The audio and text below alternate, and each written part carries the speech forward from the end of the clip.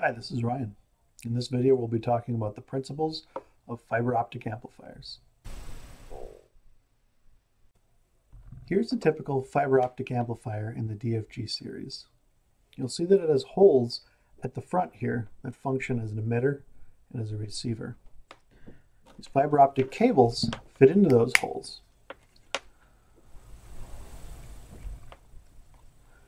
And then they clamp down with a lever here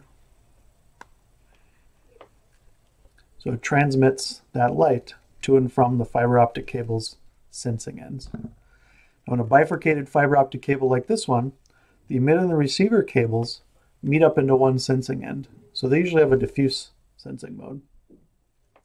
In individual fiber optic cables, the emitter and receiver have separate sensing ends. So it goes into two pieces and they have an opposed mode configuration. Fiber optic amplifier is the same, it's that fiber optic cable that determines the sensing mode.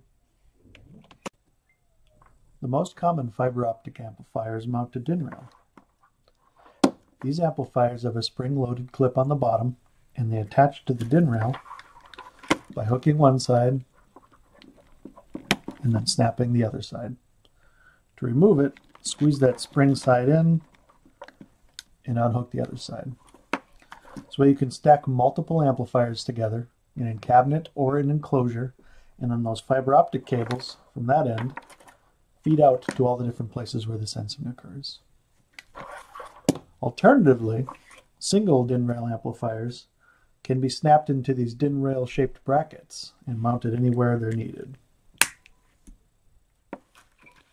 Fiber optic amplifiers may also come in housings more similar to traditional photoelectric sensors, and those will often be mounted by their sides or by the barrel. A fiber optic cable sends light from the emitter through the emitter's cable out into the world. Once there, it can be either reflected by or blocked by things out in the world, and some of that light can get back into the receiver's cable and back to the receiver. To prevent optical interference from other light sources, the emitter's light is modulated and the receiver is looking for that modulated light. The amplifier works by measuring the amount of light intensity that returns to the receiver, and its output turns on or off if that measurement of light intensity is more or less than the pre-taught set point. Generally, a fiber optic amplifier will have one of two ways to set that light intensity set point, a manual adjustment or an expert teach. The newer and most common amplifiers will have the expert teach. There are several teach modes which we will get into later, but they all require you to either present the sensor on condition, the sensor off condition, or both while the sensor runs through its teach procedure. It automatically adjusts the light intensity set point and the emitter gain to provide for the best sensing contrast. So in this application, we'll show it the on condition,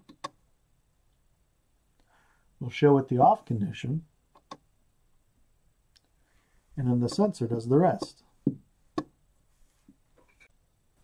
Some older or less common amplifiers have a manual teach where you turn a potentiometer to manually set the set point. In this application, we'll see where on the potentiometer the on condition turns off and then where on the potentiometer the off condition turns on never in this case. And then we'll split the difference.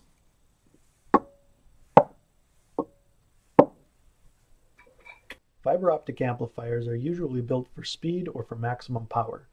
Our highest speed fiber optic amps can be set as fast as 10 microseconds, which is 100 times faster than a typical 1 millisecond photoelectric sensor.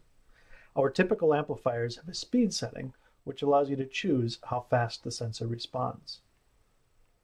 Fibers excel at many small part high-speed applications. For example, wire or thread break detection, mark detection for web control, precise silicon wafer positioning, and tablet counting. Now response time is a trade-off with sensing range.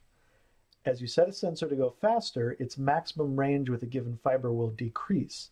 This is kind of like how slowing down a camera's shutter speed allows it to collect more light. Slowing down the response speed of a sensor allows it to collect more light and get more range.